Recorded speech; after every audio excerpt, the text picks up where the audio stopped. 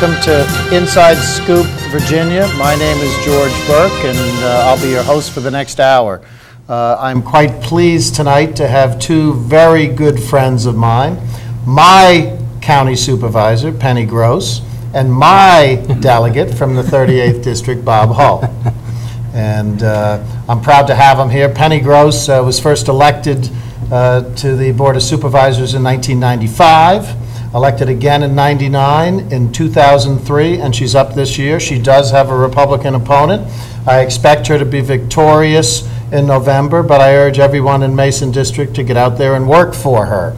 Penny is, does a lot of work uh, in a lot of different areas, uh, and we'll be talking about that tonight, so I'm not going to belabor the the biography, but I do want to note that she is a member of the Board of Directors uh, of the uh, Washington Council of Governments, the Virginia Association of Counties, and the Northern Virginia Regional Commission. But there is much, much more to Penny Gross, and you'll hear about that tonight. Uh, My other guest, Bob Hull, was first elected to the House of Delegates in 1992 in a special election. He replaced Leslie Byrne in that seat. Leslie ran uh, for Congress and won the congressional seat this- that year. It's your seventh term you're running for, I believe, Bob. Uh, Actually, I Bob- think it's eighth Eighth full term. Eighth full term. And uh, uh, Bob is a a creature unique to Northern Virginia. Uh, He was born and raised here. Most of us are carpetbaggers from one time or another. Uh, You got to really dig through the weeds to find somebody who was born here. Uh, Bob serves on the Finance Committee. Another committee that's very important to Fairfax County is the County, Cities, and Towns Committee. Uh, And he served, prior to getting elected the first time, he served 19 years on different county boards and commissions. So I welcome both of you to the show. Thank you. Thanks for having Thank you, Like George. Old home day. Delighted to be here. The, uh, we do have, uh, we are taking calls tonight, and that number is 571-749-1166. Uh, Let's get into it a little bit. One of my favorite topics on this show lately has been the transportation bill. Uh, You know, we hear the talk about the abuser fees, we hear a lot of different things and a lot of rhetoric. Well, there, I have two people with us tonight who've been involved in a lot of transportation issues, are very familiar with the bill, and may be telling you some stuff uh, that you haven't heard before. Let's get right into it. Penny, tell me what you think of the transportation bill before we let our delegate talk about what happened down there. The transportation bill, George, was disappointing, to say the very least. However, the bill that finally did pass was better than the one that started out. Um, You know, originally, the um, transportation bill had in it what localities considered a poison pill, and that was that the localities would have to take over operation and maintenance of their own roads, which is a state responsibility. It was a little bit like, you know, this potato is too hot, here, you take it. And um, localities across the, the, the Commonwealth, and this came out in the Virginia Association of Counties Board of Directors meeting, it didn't matter whether you were from Fairfax, the largest jurisdiction, or were you from Wythe County or someplace way down in the southwest section, nobody wanted this poison pill, and we were eff- effective in getting rid of that part. But the rest of it was not really what we had, would have liked, but we worked real hard to get a package of um, um, resources for both the Northern Virginia and Tidewater that would be somewhat similar. It seemed that uh, the Republicans, uh, who have been unsuccessful s- for some time in passing any kind of transportation bill, uh, were reluctant to uh, attach any revenue to this bill that was, uh, that was equitable and fair from a statewide basis. A lot of it has been put on the shoulders of Northern Virginia. A lot of it has been put on the shoulders of the- of Hampton Roads. And, uh, of course, then there are the infamous so-called abuser fees that have a lot of people uh, up in arms. Uh, Bob, tell us, you know, what went on down there? Well, this is an issue that really had been around for about three years. Um, Governor Warner, uh, when he proposed his um, uh, tax reform bill, the Senate at one point added uh, a big package to take care of the transportation issue, but then that, they dropped that when they got into negotiations. So um, we come to um, 2006, and uh, we had some bills that came to the Finance Committee. One of the bills was the abuser fee bill, voted against that. That was Albo and Rust. Albo and Rust. They Two had a- Republicans, I may add. Yeah, they had another bill that would have been just in Northern Virginia, would have increased a lot of fees and taxes. And um, one of the problems with that bill and the bill that finally made it out of committee this year that I also voted against was that these original bills would have taken over $100 million from the general fund, and that's the uh, fund that we use for public, uh, public education. And, you know, we were saying, look, if, uh, if there's a downturn in the economy and we don't have enough revenue, and you have sold bonds based on money from the general fund, that comes right off the top. You've got to pay that. And so we, we would be in the position of having to cut education. We said, no, I'm not going to do that. So I voted against the bill that came out of the committee. I voted against the House version that passed the House the first time, went to the Senate, had some changes made, came back. I voted against the final bill and it still had the money from the general fund. It had the, the provision that Penny was talking about. It had a lot of other things in it. And so, uh, including the uh, abuser fees. Uh, And it went to the governor, and then instead of making amendments, see, the governor in Virginia, uh, and mo- a lot of governors, uh, the president cannot do this, but a lot of governors can send down line amendments. They'll say, uh, I support the concept of the bill, but I would like these things changed. And then we have to vote separately on the amendments. Well, instead of doing that, he submitted what we call an amendment in the nature of a substitute, one bill up or down. And when I went, uh, we have what we call the veto session, uh, six weeks after the regular session ends, and when we went to that, I was, I tell you, I was prepared to vote against it. But the governor had made substantial improvements. Had taken out the provisions Penny talked about, took out the raid from the general fund, but it still had the abuser fee bill, uh, aspect of it, rather, and it only related again to Virginia drivers. And it had a number of problems, but the biggest problems seemed to have been taken care of. So I ended up voting for it because we'd been working on this for three years, and I figured we'll clean up these bad aspects of it, hopefully this year. And I will tell you, that abuser fee thing has gotten so much, so much bad publicity. I'm sure that's going to be changed. But the problem is, what we're doing is we're getting away from what has been a tradition, not just in Virginia, but in other states, of using the gasoline tax, which is a, more or less a user fee, mm-hmm. to pay for transportation improvements. Instead, they throw it to counties in Northern Virginia and the localities in Hampton Roads to have to raise their taxes themselves. One of the taxes to be raised, and I didn't support, is that for the first time, we will put a tax on a service, in this case, automobile Automobile repairs. So repairs. There's some nexus, but my, my fear is that once you, you know, they talk about the camel's nose under the tent, once you start there, what's next? Dry cleaning, uh, legal fees, you know what I'm saying? And so if we, if we're going to get into that, we need to look at the whole tax system.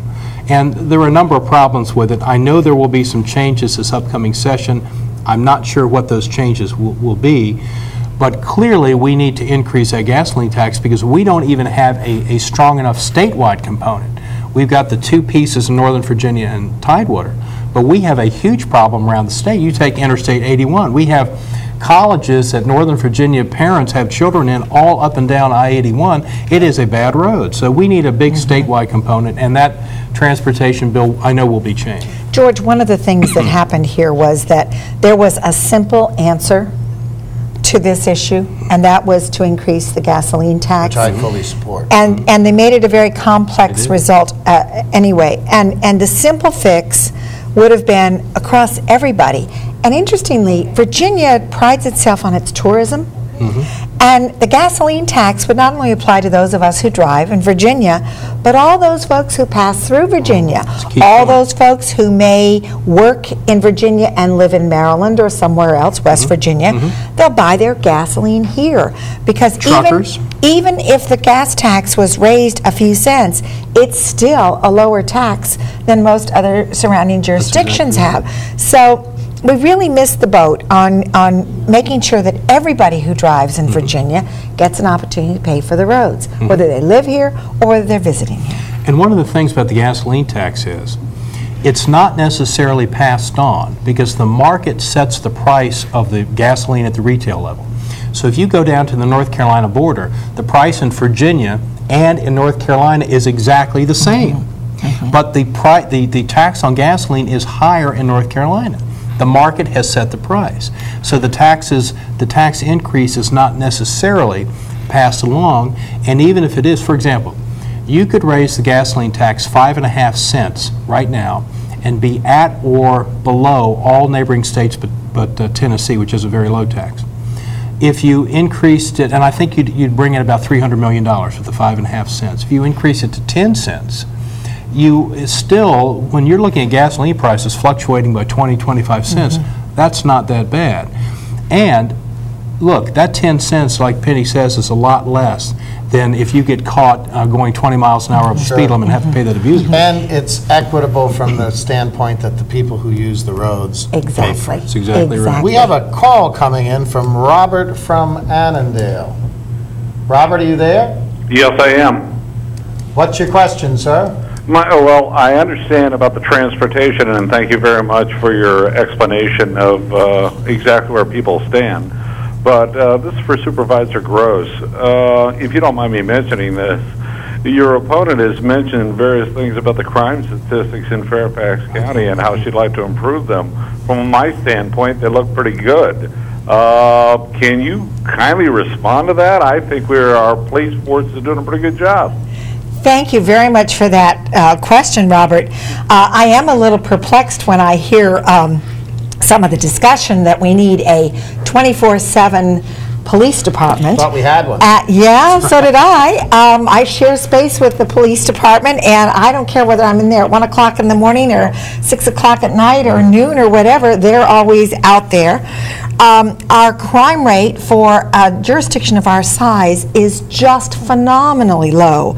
We are one of the safest jurisdictions in the country. I think our homicide um, number last year was 19 altogether for 1.1 million people. And most of those have been resolved. Some of them were domestic, some of them were very quickly solved.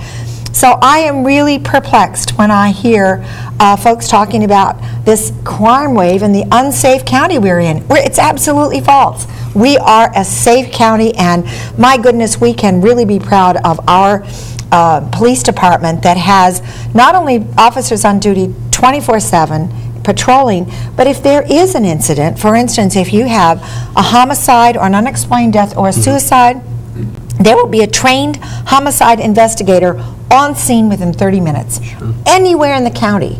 Now, that sounds to me like 24/7. I think that uh, I'm- I've worked an awful lot of campaigns in my uh, lifetime, and it strikes me that this type of, raising this type of issue, but when it's not true, is essentially aimed at fear-mongering. It's some of the same mm-hmm. things we're seeing on some of the other issues that are popping up this year as the Republicans desperately grasp mm-hmm. for something to put their hands on and to escape uh, from these so-called abuser fees, because they are getting hammered on mm-hmm. those. Uh, I, I would add also that Fairfax is um, really, is an outstanding county in terms of neighborhood watch program. Oh, we have one of the best, and Mason Yeah. District even better than the Absolutely. county as a whole. And I think in many regards, that's what keeps crime rate low, because you got the neighbors out there looking mm-hmm. after what's happening. The mm-hmm. police work directly with them.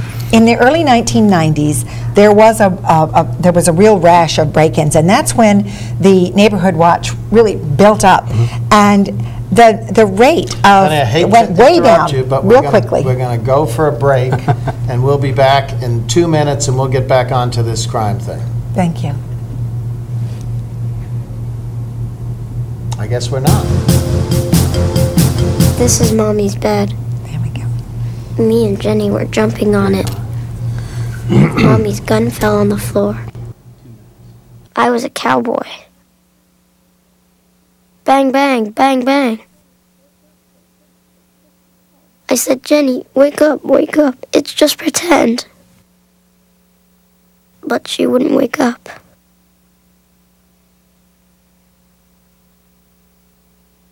If you give me a fish, If you give someone a fish, You feed them for a day. Someone to fish. You feed them for a lifetime. give me a fish, and you'll feed me for a day. Teach me to fish, and you'll feed me for a lifetime. Through Volunteers of America, you can help change lives in your community.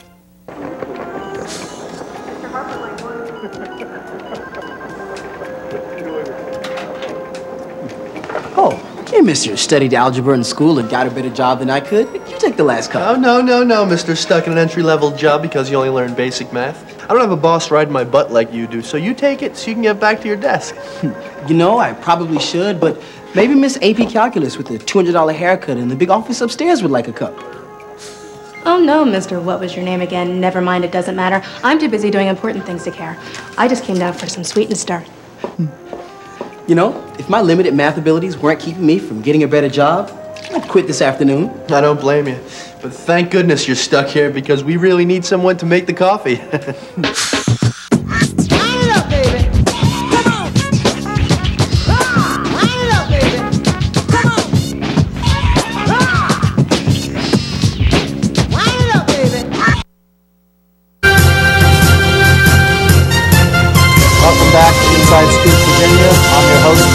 host, Joining me today are Mason District Supervisor Penny Gross and 38th District Delegate Bob Hull.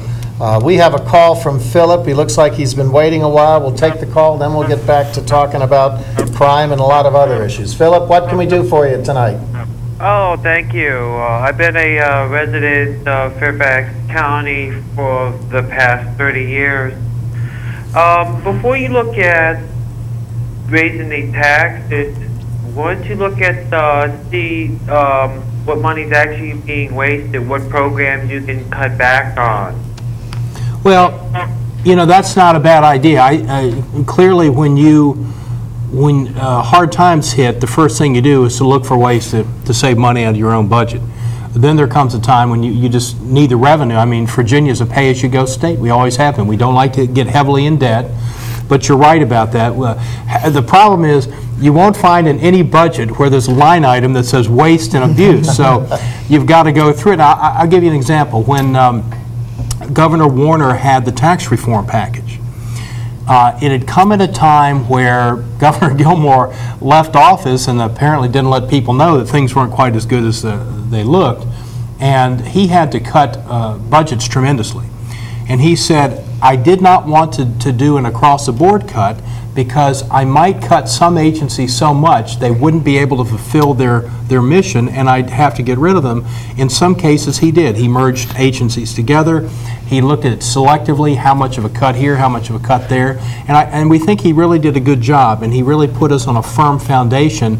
And then a year later, he proposed this restructuring that uh, what it did was um, it increased. You know, anytime you have a general tax and you increase it a small amount, it produces a lot of revenue. And so, since it's a small increase, it doesn't hurt people that much. We increased the um, uh, general sales tax by half a penny, but then we reduced the food tax by two cents. So that kind of balanced that, that off, and we, and because of that, we had a billion more dollars to put into public education. So uh, I, I do take that uh, suggestion seriously, that you've got to look at your own operations uh, all the time, and I know at the county level, you, you do that all the time. Philip mentioned that he lived in Fairfax County for 30 years, so he has seen the cycles that we've gone through in real estate, where things are up and then they're down, and then they're up and then they're down. And so in the county, um, a few years ago, when I first joined the board, we were in a real crisis situation 12 years ago, and we had to cut the budget tremendously, um, um, tens of millions of dollars. Two of the things that we cut were the urban forester and the soil science office. Well, that came back to haunt us in a way because we discovered that because of the land use in Fairfax County, we needed those soil scientists to tell us whether they were on marine clays and things like that. And the urban forester is really a, a vital uh, a staffing component because of all of our trees, our tree legislation, and so forth. So we've, over the years, as we've been able to afford it, we've put it back in. But um, some of the things we have actually added to the um, budget are the gang unit, which has done a tremendous job. The board established a gang unit a few years ago, has done a tremendous job in keeping our gang activity way, way down. And of course, a lot of the money has also been transferred to the schools. Mm-hmm. But in carryover in September, we had some money that was not spent in the last budget, and we actually put that aside so that we can have hopefully some tax relief again in the next, in the FY09 budget. So we're very, being very, very prudent. And, and let me say that, that that's with a Democratic majority, and in the General Assembly and in Richmond, it was a Democrat, Governor Wilder, who proposed the so-called rainy day fund. You know, people talk about Democrats, uh, uh, that, you know, the idea that somehow we're not good with your tax dollars is just not true. Governor Wilder proposed that rainy day fund, and it has really saved us because we're able to squirrel away some money. So when the slow times hit, we can draw some of that out without having to necessarily cut programs. And the county has The county has a a revenue stabilization fund that we established back in, about 10 years ago. We now have fully funded it. It's, it's sort of hard sometimes to describe it, but, you know, we've had two incidents just in the last six or seven years that have proven why we need to have a revenue stabilization fund. One was 9/11. 9/11 mm-hmm. proved that sometimes you have incredible disasters that you had no planning for, and you need to be able to ha- access some resources. The other was the experience that the people in New Orleans had with uh, Hurricane Katrina, and then following up with Hurricane Rita. Wiped out wiped out whole entire counties, entire local jurisdictions. No way to provide for um, police services, no way to provide for school services. They had no money to do anything. They were wiped out, and several years later, they're still struggling. So we know that a revenue stabilization fund is the prudent approach. The, uh, we had touched upon the issue of uh, lobbyists in Richmond, and uh, the county, of course, has a number of people who are actually not regular employees, I believe, who lobby down. They're not lobbyists, they're rep- uh, They're representatives. legislative representatives.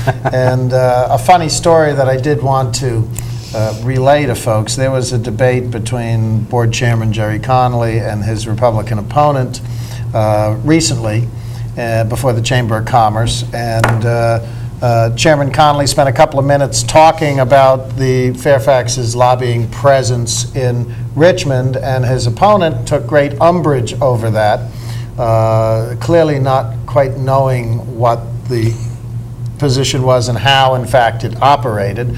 And he made a blanket statement. He's a lawyer. Usually lawyers don't ask questions they don't have the answers to. And he said, well, we've got members of the General Assembly here. What do they think? And Bob Hull was in the audience, and he's hyped up, I think it's great, threw a big laughter, round of applause, and sort of ended that. Uh, Unfortunately for Bob, when the Washington Post reported it, they didn't mention your name on it. And I had specifically, I thought, told Bill Turque it was you, the reporter from the Post afterwards. But tell us a little bit more about this lobbying Well, we operation. depend on them because uh, frankly, if it wasn't for them uh, being able to review bills, uh, the county might get its clock cleaned. Because there are people around the state that think that somehow uh, all this tax money that comes to Richmond flows back to Fairfax County, when the opposite is true. That's right. We pay for services all over the state. We pay for schools in every rural county in this Commonwealth. We get about 20 cents on the dollar back. And so uh, w- those folks are able to review these bills, particularly the budget, review the the items in the budget, and let us know what's going on, let the Board of Supervisors That's know what's going on. And so when a bill comes up before a committee, I'm on the County Cities and Towns Committee. Karen Harwood, who's with the County Attorney's Office, is there for every meeting. When land use matters come up, she can speak about Fairfax's experience, and it is invaluable experience to have a person like that. So if we didn't have those folks down there, uh, I tell you, other parts of this uh, Commonwealth would just grab anything they could from us. We have in the county um, about five people who are, um, work, they have other jobs. And during the session, they are sent down to Richmond. I, I wouldn't want to be down in Richmond those two months of the session, but Well, they're we down there all, I know you do, and so do they. But they come back every Friday afternoon to meet with the board in, as a legislative committee, to tell us what's going on and to look at how, what our positions are and what kinds of um, legislation is wor- working its through the, way through the pipeline. One of the things that we have found is that not only are our Fairfax County legislative people absolutely top-notch, mm-hmm. but they provide similar services for counties around the co- the Commonwealth. I had mentioned the Virginia Association of Counties. They work closely with the VACO mm-hmm. folks. And sometimes they even are able to help the very small counties that have no legislative representatives with their own uh, legislation because they're there. Mm-hmm. They have become known and recognized as experts in the field. And so they're down there for that, those couple of months, and when they, the session is finished, they come back and take over their regular positions. We have somebody from the Depart, from our Department of Transportation, mm-hmm. we have somebody from Human Services, we have somebody from Budget. You know, we have these folks who are really top-notch county employees who do that as an extra, I guess, job description. It's Right. other, it's almost other duties as assigned, and they do a remarkable job, and they're recognized across the Commonwealth. Particularly Human Services, because Fairfax uh, really operates a lot of programs on its own instead of the state having to do it, so it's critical to have them down there. And some of this is so complex, so complicated. We have to have somebody who can pull away the, the, the, the layers and get right down to the nitty-gritty. The years I spent in, uh, uh, working for the the House of Representatives, working for the Congress, uh, I learned that lobbyist is not necessarily a dirty word. No. That that lobbyists provide many, many valuable services uh, to the elected branch in terms of, because they often have the expertise that you can't expect an individual legislator to have. And the information. And the information. An elected official is a generalist. We That's really, right. it's a very general, exactly we right. deal with very general issues. We need to have that expertise, and that's what we get from Mm-hmm. folks who are lobbyists. And it sounds to me that the folks that come down from Fairfax aren't your prototypical slicksters in their Not at all. Gucci's. Not at all. We don't pay them enough to do that. Well, The, uh, you know, we had talked about the police before, and before the break, I just want to put a plug in. I mean, uh, the public services in Fairfax are some of the best in the United States, if not in the world, anyway. Well, the training's outstanding. And, and, you know, I, uh, I spent some time working with the firefighters, so I know the Fairfax firefighters as well as many others. And these folks are just top-notch. They're one of the two uh, USAR teams, urban search and rescue Yes. teams, that actually get to Go all- uh, all- go all around over the the world. world. Not that they go to fun places, they go to disasters, and they're dealing That's with right. disease and cave-ins and the like. Uh, But they definitely uh, uh, deserve our respect and the like. And when we return, uh, after the next break, let's, one of the issues that deals with our public safety personnel is affordable housing. Yes, indeed. And, uh, you know, I think we should spend a little time with that. Uh, So we hope you'll stick with us. We'll be back in two minutes. Uh, Urge you to phone us at 571-749-1166 if you have the time. Uh, Thank you for joining us, and we shall see you after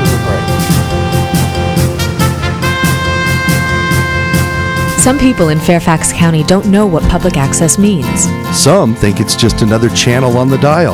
But it's much more than that. It's the voice of the people. People like you.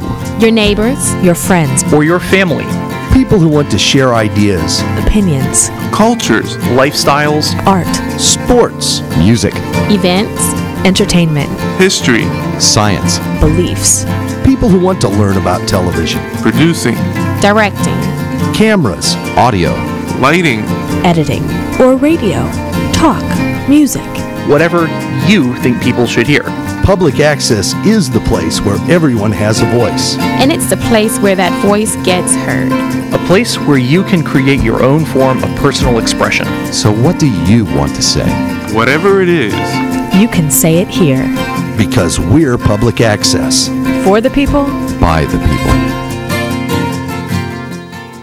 It is about balancing our choices between the gray of the concrete jungle and the stunning beauty of the real one, between a stoic facade of granite and the fury of the canyon. It's why there's Earthshare, the simple way to find balance. Earthshare is the workplace giving program bringing the leading environmental groups under one umbrella. Support Earthshare, support them all. Earthshare. Please ask your employer about workplace giving. To learn more, visit our website.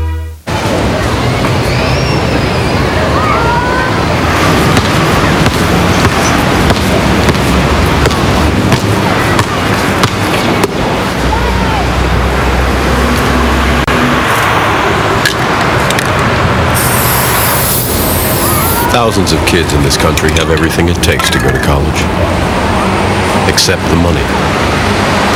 The United Negro College Fund A mind is a terrible thing to waste. Welcome back to Inside Scoop, Virginia. I'm your host, George Burke. I'm joined by Mason District Supervisor Penny Gross and 38th District Delegate Bob Hull. Again, this is my supervisor and my delegate, so I'm happy to have him on today, and we will be victorious in November. Before uh, the break, we were talking a little bit about uh, public safety and the police officers. We had talked about them earlier and the crime issue.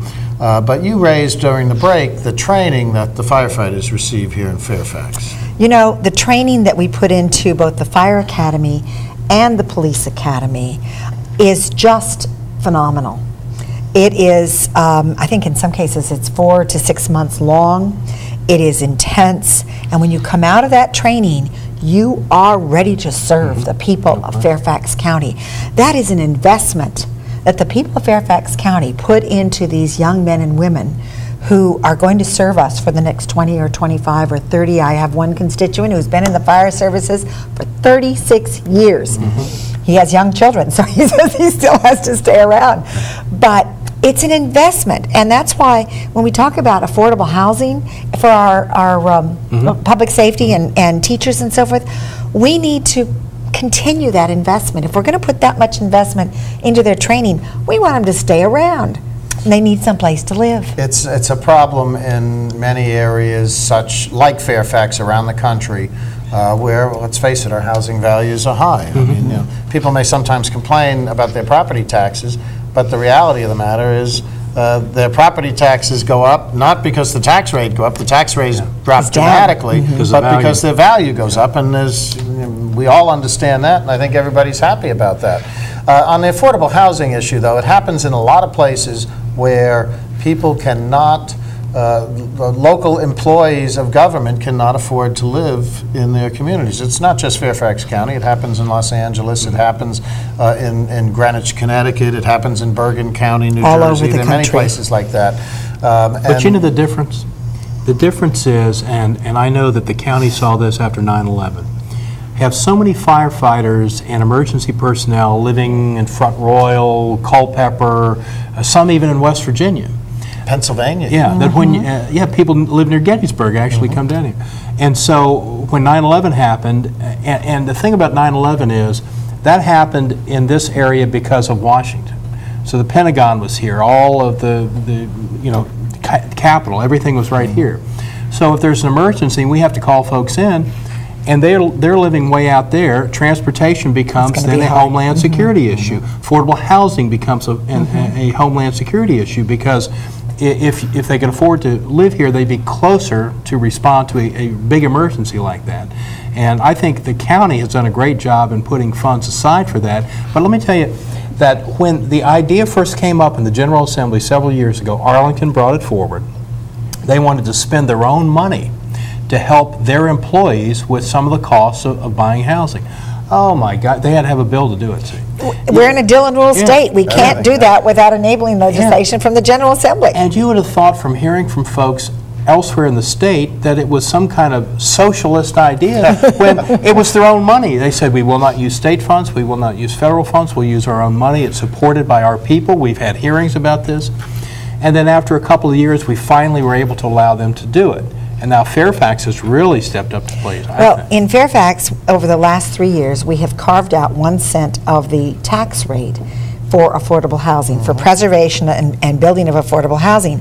This year, that's $22.9 million. That's the value of one cent on the tax rate.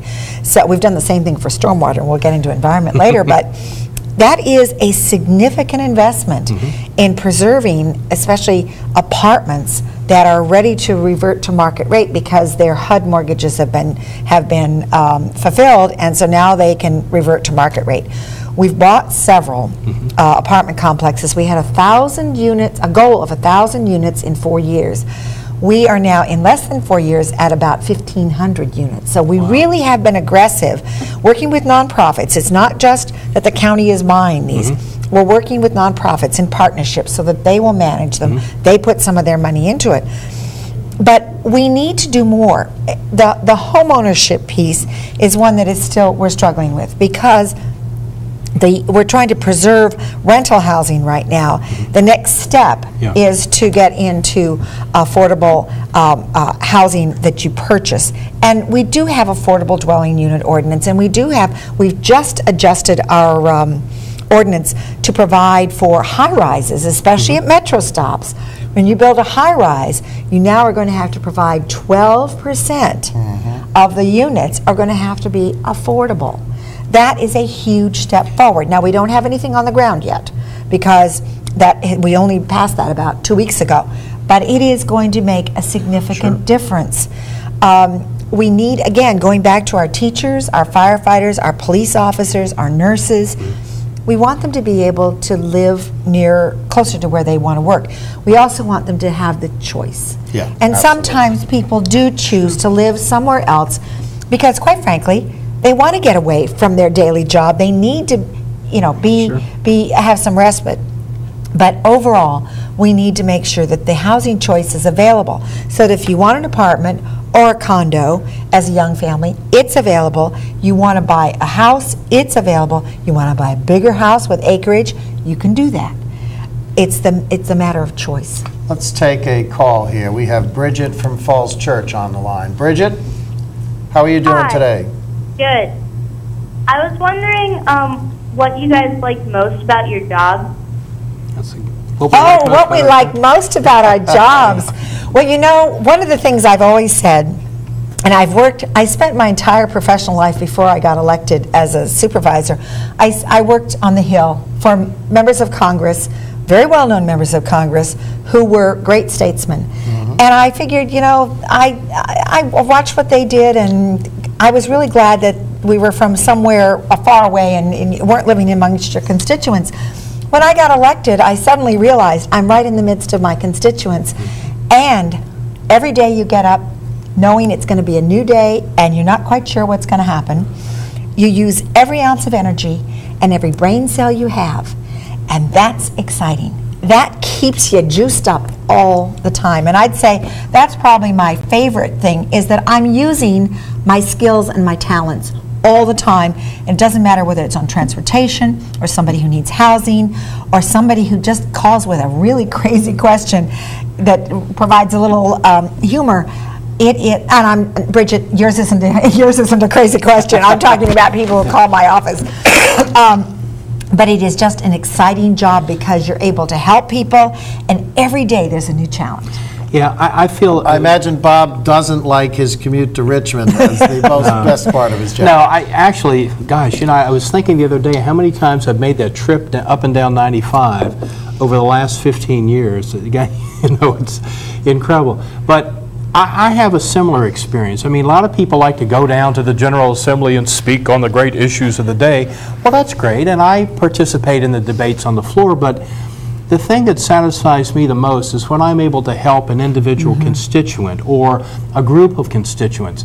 Uh, for example, occasionally a bill will be introduced that people make fun of. We had one delegate a few years ago that introduced what they call the baggy pants bill. It was about preventing uh, young men from wearing these, you know, low-cut trousers, baggy trousers, and people made fun of him. But you know, he did what his constituents wanted him to do.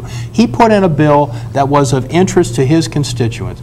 And when I'm able to help a constituent, for example, cut through some bureaucratic red tape, they haven't gotten a, a check that's been due to them by the state, or, oh my goodness, occasionally you have something. I, I helped a, uh, an immigrant uh, who had a problem with, with um, uh, bad investment, and the person ran away with this money, and I worked with the police department. Finally, I convinced them uh, to bring this before the grand jury. Um, Commonwealth's uh, Attorney's Office did. They got an indictment for this guy. They tracked him to California. They arrested him on a, on a traffic charge in California and had him extradited to Virginia.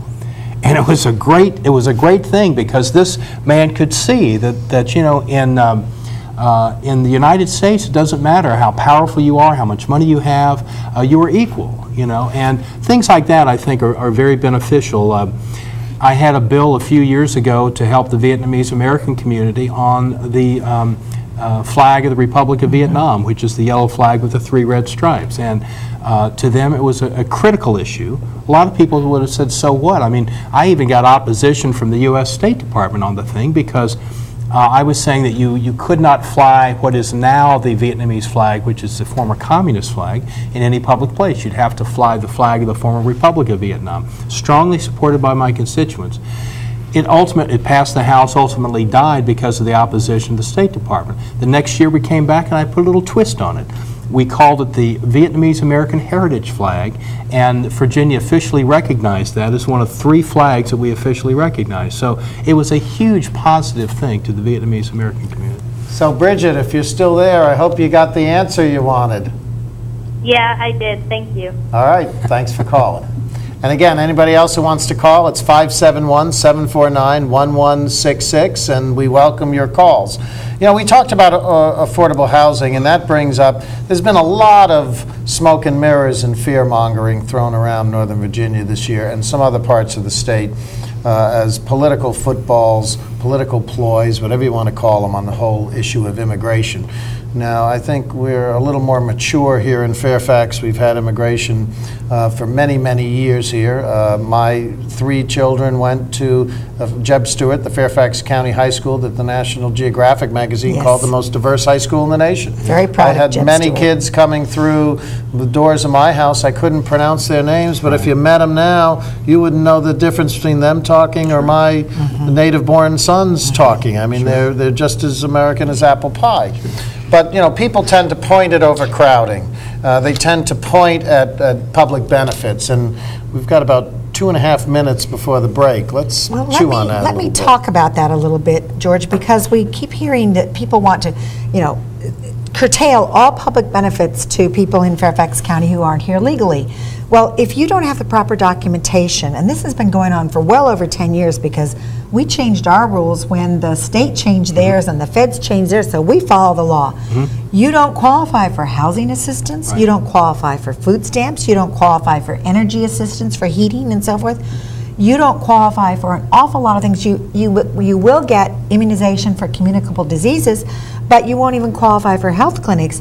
The- There is a federal waiver for emergency health care, but there's an awful, you don't qualify for. So you already can't access an awful lot of these things.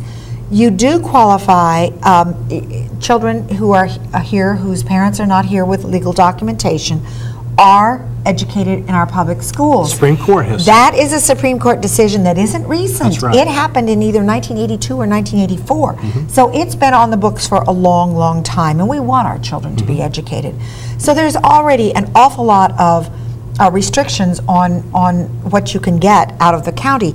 I've often wondered, with all the talk that's been done about Prince William and Loudoun County, and quite frankly, I could have told the members of those boards what the answer was going to be when they asked that question back in July, because we've already been there, done that in Fairfax County. They didn't County. wanna hear the answer. They didn't want to hear the answer. political purposes. That's exactly right.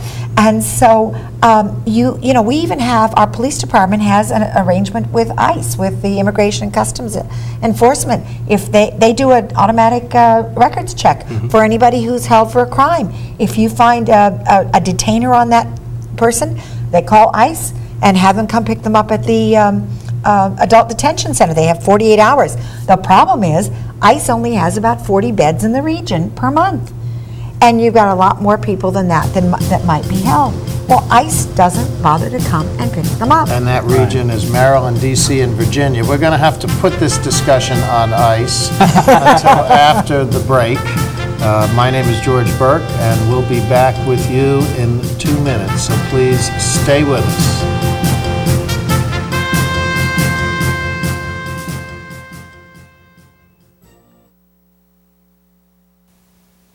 This is Mommy's bed. Me and Jenny were jumping on it.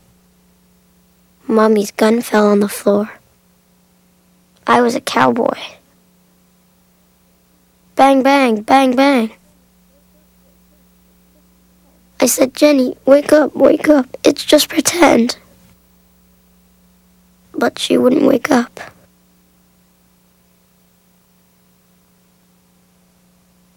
If you give me a fish,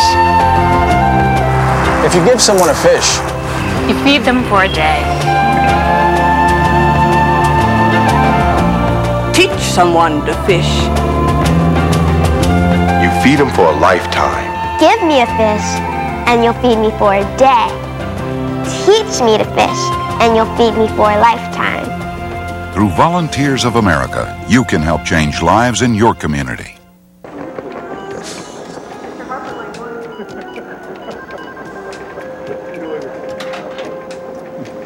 Oh, hey, mister, studied algebra in school and got a better job than I could. You take the last cup. Oh, no, no, no, mister. Stuck in an entry level job because you only learn basic math. I don't have a boss riding my butt like you do, so you take it so you can get back to your desk. Hmm. You know, I probably should, but maybe Miss AP Calculus with the $200 haircut in the big office upstairs would like a cup.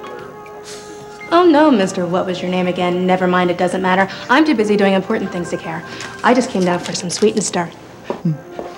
You know, if my limited math abilities weren't keeping me from getting a better job, I'd quit this afternoon. I don't blame you. But thank goodness you're stuck here because we really need someone to make the coffee.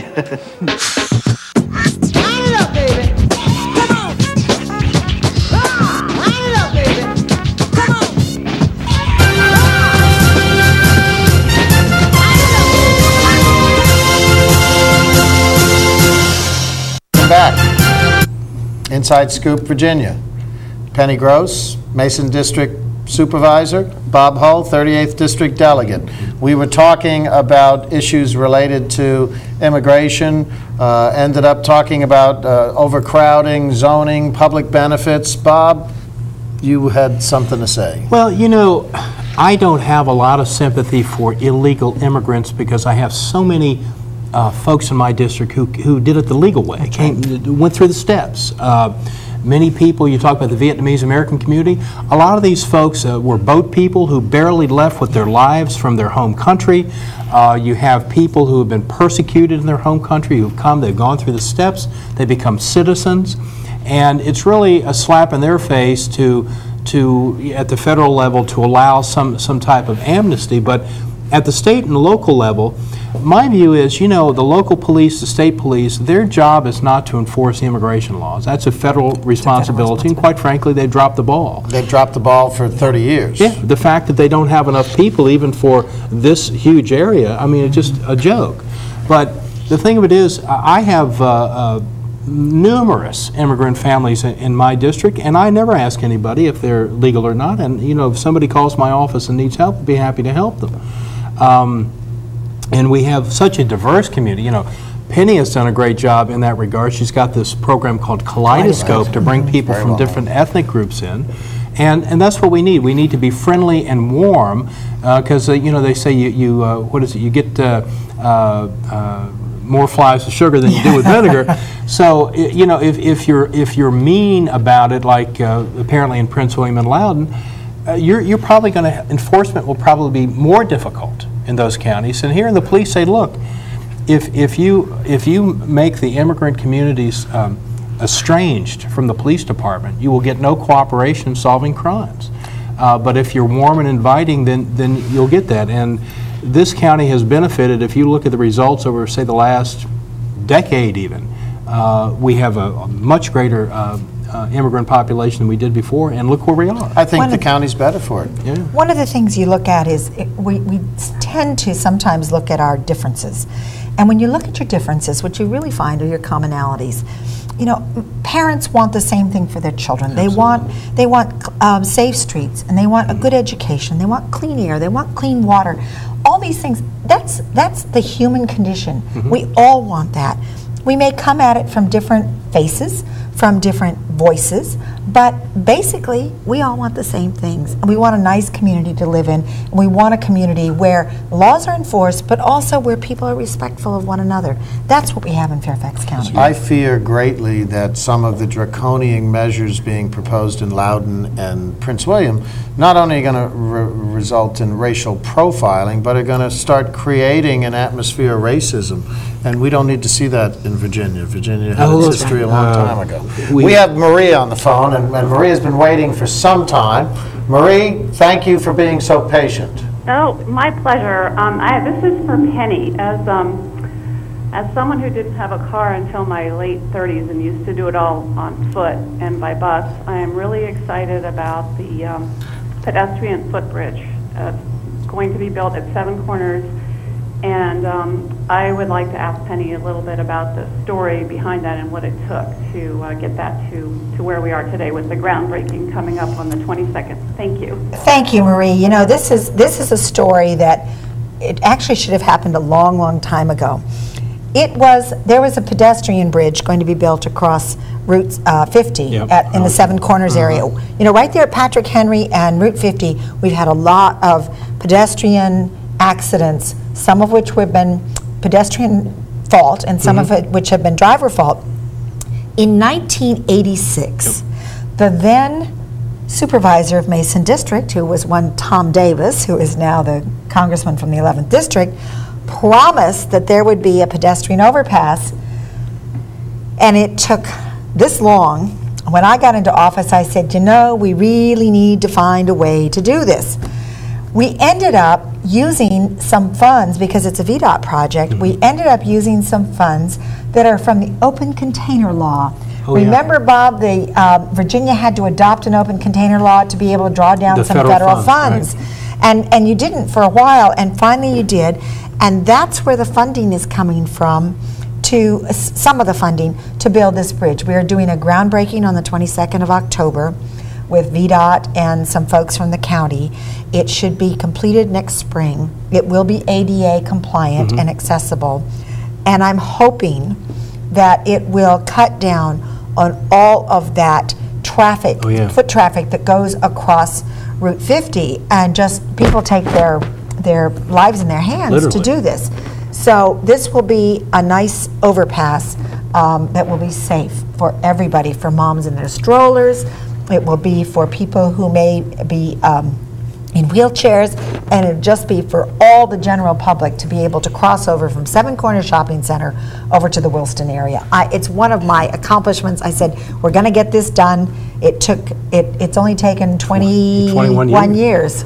Speaking of accomplishments, I uh, remember during the last campaign, I was listening to Tom taking credit as a congressman for putting in a traffic light by the mosque, and I said to him, I think Penny had a role in that, and he sort of turned a little red. Yes, i- th- again, these are pedestrian improvements. We mm-hmm. work with the state because, again, Virginia Department of Transportation operates and maintains our roads.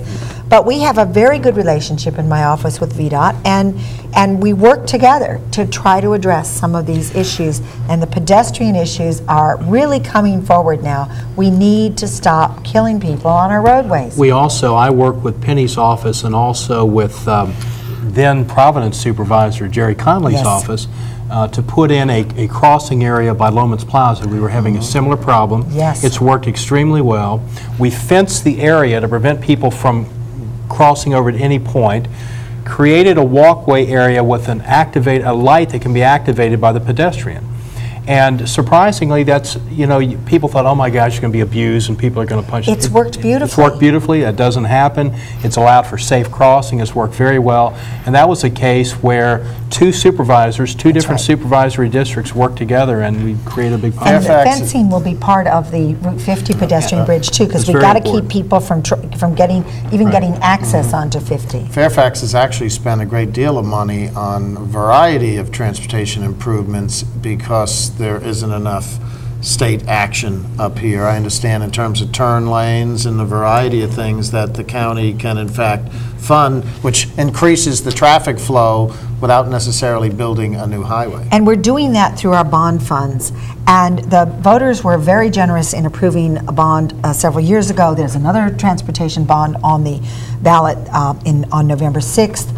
We need these bonds to pass so that the county can take over some of those uh, intersection improvements that really make a huge difference. I saw an email today from somebody who said, why in the world are we doing um, turn lanes at Braddock and Backlick Road. This was somebody in Tyson's Corner.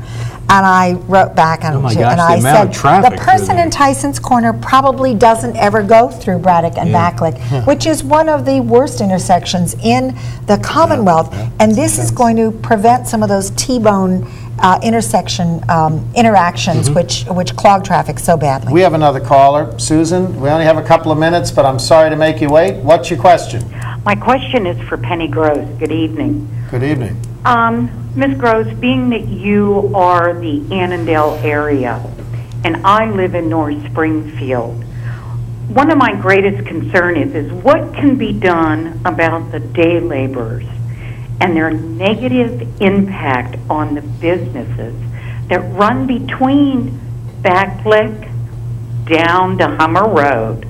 And I mean, there's a lot of catcalling. There is negativism when you go there.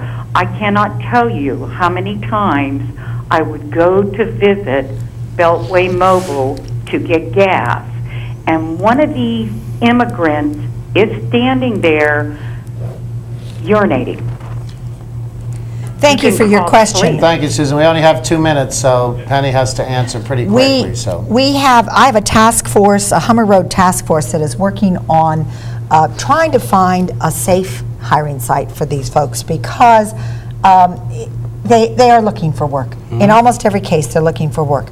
One of the things that the county did do was fund uh, put some funds aside for nonprofits to work with the day laborers, trying to make some chaos out of the, the situation at the corners. We also have, well, we're, we're, we're also trying to, um, the, the police are doing more. We have police patrols, we have specially trained police officers who can uh, patrol that area with language capabilities, which is very important.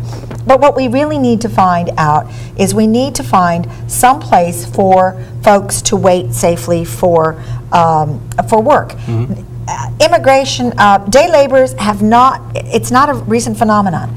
It's been going on for hundreds of years. It just so happens that we have a couple sites in uh, Mason District, in Culmore and in Yeah. Annandale. We're trying to address the chaos that happens. Um, The nonprofit contractor is doing quite a good job, but we still got a ways to go. And quite frankly, the day laborers tell me they don't like the guys who are giving them a bad name because they're there to work. Sure. And I think the other thing of it is, the county's view is, as I understand it, is where you see uh, somebody breaking the law, you enforce the law. Have to enforce the Doesn't matter law. if they're an immigrant or, or or whatnot. And Penny's right, day laborers have been used in the construction industry since, gosh, my grandfather was a contractor, used to, you know, as, as you would need somebody, you would hire Mm-hmm. somebody for the day, and so it's a a longstanding. uh, One of the issues in Prince William, where their immigration is predominantly Hispanic, is all the construction that they have had has drawn That's right. folks in to work at that bottom tier of the, of the, the construction industry. And, and now, the same people who built their houses, people are complaining because they're living next door to them. Is basically what's happening in Prince William, I think. We have run out of time. I wanted to talk about environment, I wanted to talk about the parks. You guys are going to have to come back, and we're going to have to do it again. I thank Penny Gross, Mason District Supervisor, Bob Hull, 38th District uh, Delegate, uh, my delegate, my supervisor. Good night.